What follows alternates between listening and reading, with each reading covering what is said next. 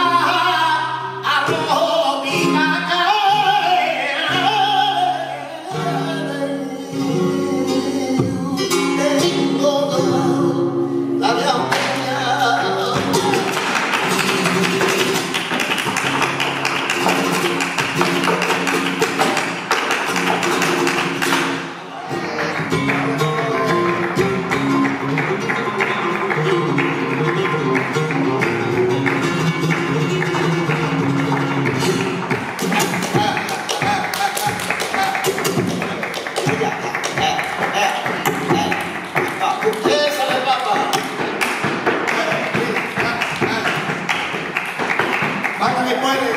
Assim vamos?